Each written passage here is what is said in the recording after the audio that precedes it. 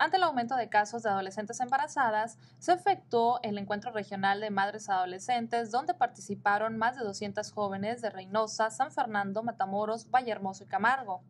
Al respecto, la directora de atención a la familia del sistema DIF Matamoros, Rosa Laura Gómez, señaló que actualmente atienden a más de 70 madres adolescentes. Sí, lamentablemente no hemos podido frenar este fenómeno y cada vez hay más eh, jovencitas que inician a vivir su sexualidad y jóvenes, ¿verdad? Sin plena conciencia de las consecuencias. En este caso, pues tenemos madres adolescentes de 13, 14 años, ¿verdad?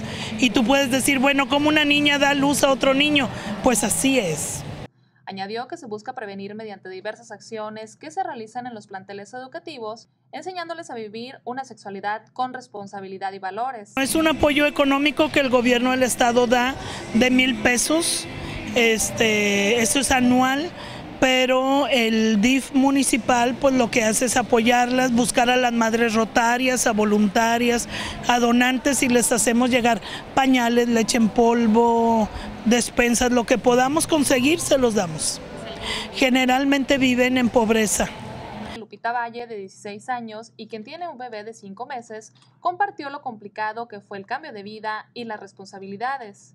Salí embarazada a los, 10, a los 15 y me alivié ahorita a los 16. El papá del niño sí me apoya, pero no mucho. Y vivo con mis papás y mis papás sí me apoyan. Yo ahorita estoy estudiando ya para salir de la preparatoria, me falta un año y ponerme a trabajar.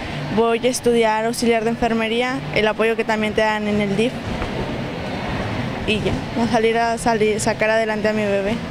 De la misma forma, Karen Torres, de 18 años y con un bebé de 3 meses, dijo que en el sistema DIF Matamoros les brindan apoyo económico, psicológico, además de cursos y donaciones. Eh, sí, ha hecho, sí, ha sido, ha sido muy difícil, ya me, tuve que meter a trabajar y ya, ya, son más, ya es más responsabilidad, ya tienes que pensar más cosas ya, ya cuando tienes un bebé. Mucho, ya no, ya no es nada igual como era antes, ya. Ahora, ahora, tengo que hacer cosas diferentes a, las que hacía antes.